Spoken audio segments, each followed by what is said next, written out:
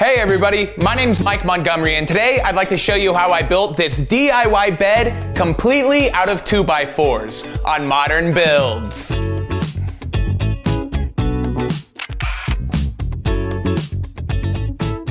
I started this project by breaking down a whole lot of 2x4s. I went to my local Home Depot and I got as many straight, clean 2x4s as I could find, and here I'm breaking down 30 of them to 88 inches long. 22 of them are going to be used for our platform, and we're going to save the other 8 for later. I made sure to use a high tooth count circular saw blade and a 12 inch speed square to get good cuts. The majority of these boards are going to be covered by the mattress, so I made sure and used the good ones towards the edge where they'll be visible. I also made sure that all of the board's good ends were facing the foot of the bed. Then I turned one of the 2x4s into a template so that I could make marks where each of my spacer blocks are gonna go on every single 2x4. Then I used an eighth inch bit to pre-drill where I'll be screwing all of my boards to the spacers. This was a little tedious, but I knew that it would help everything assemble square later on. For this bed, we're also gonna need a whole lot of these three and a half inch by three and a half inch spacers. To cut them, I set up a stop block on my miter saw, that way I could utilize all of these short, scrap pieces of wood that I had laying around, especially since 2x4s are so expensive right now. In my area, 2x4s are right around 7 bucks, but I'm curious, where are you guys based and how much are you paying? Leave a comment down below. Now it's time to assemble this base. I made sure to use wood glue on every spacer and every board where they met. That way the screws could hold everything in place and the glue could harden and hold everything together long term. Notice how I put two screws in each spacer and then whenever I put on the next slat, I put two screws in facing the opposite orientation. That way they sort of made an X, so I didn't have any screws running into the ones behind it.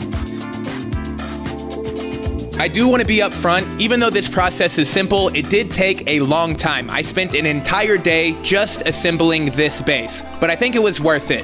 On the foot side of the bed, the slats extend 9 inches past that last spacer, while on the headboard side, there's only a 3.5 inch gap, the width of a 2x4.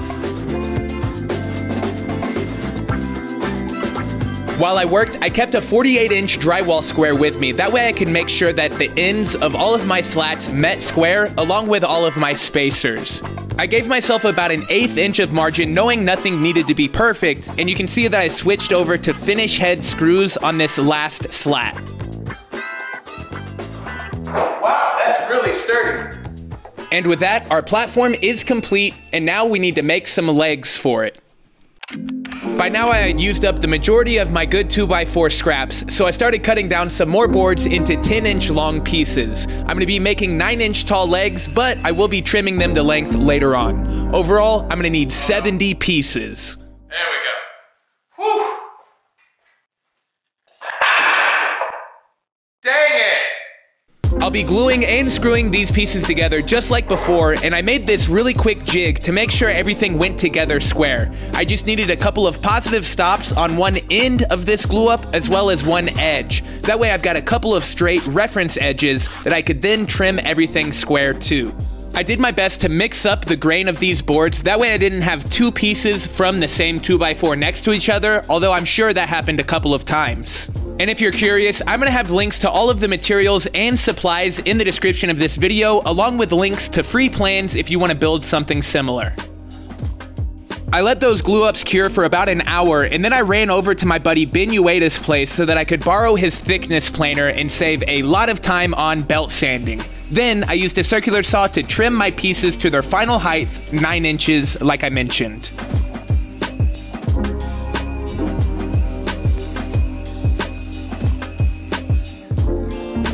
I took the time to sand these leg assemblies before I glued and screwed it to the platform. I also took the time to sand the 2x4s before I made the platform, but I didn't put that footage in. This was really easy to line up, and I made sure to use these really long lag screws. That way, it was a super strong connection. And now is a great time to get any warp or bend that you might have in your platform, so make sure and clamp it, stand on it, whatever you've got to do to get that flat. And with that, the base of our bed is complete. But right now, I'd like to give a big thanks to the sponsor of today's episode, Bright Cellars. Discover wine you love and get it delivered right to your door with Bright Cellars. Bright Cellars is a monthly wine subscription service that uses their unique seven question non wine snobby quiz to pair you with wines based on your taste. I really enjoy the wine wisdom cards that come with each bottle. It gives you a little bit of information about the wine, its origin, and tasting notes. That way you can sound extra fancy. I'm gonna be sampling the World Line Red Blend out of this month's box. Cheers. Mm. Pinkies out. Look at those legs. It's good.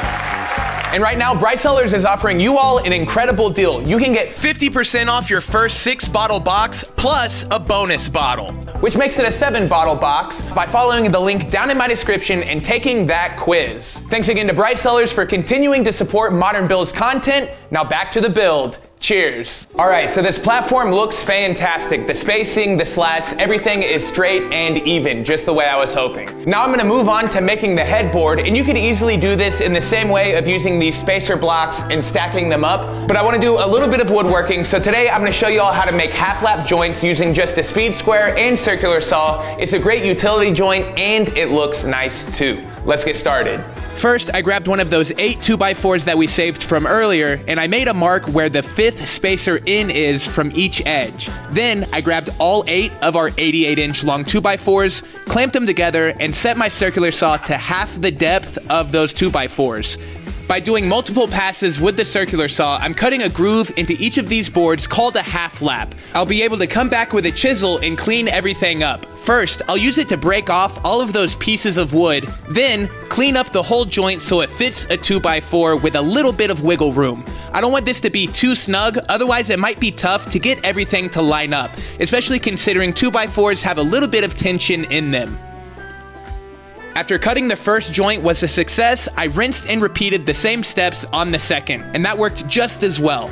The two vertical supports for this headboard are going to need a lot more half laps cut into them. In fact, it'll need eight, one for each of the slats. I cut the second set of joints on these vertical supports a little bit less deep than I did on the horizontal slats. That way the horizontal slats would be a little proud of the vertical supports and give it a super pro look. If that's a little confusing now, just wait until the reveal and you'll see what I'm talking about. I couldn't have asked for this headboard assembly to go any smoother. I just put a dab of glue in each of my joints and a trim head screw on the back where each piece met. And even though making all of these joints did take a while, the assembly process was way quicker than the platform because all of my pieces went together on their own square and I used these 2x4s to make sure the first slat was an inch and a half above our platform.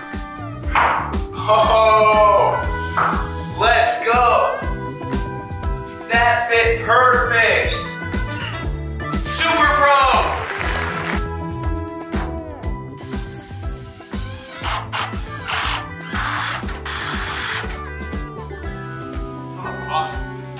Just like on the leg assemblies, I cut the vertical supports for the headboard a little long so that I could trim them later. They stick past that last slat an inch and a half.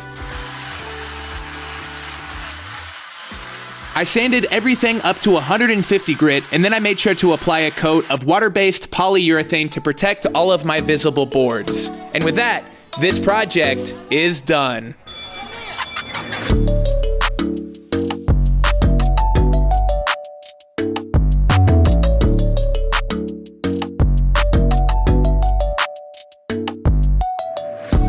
Am a big fan of this project. Right now, I'm working on this design study, trying to come up with cool ideas all around 2x4 furniture, and I love all of the negative space between these slats. And considering you can build this whole project with just a circular saw and a drill, I am super excited. If any of y'all out there decide to build this project for yourself, make sure and tag me at Modern Builds on Instagram. I'd love to see.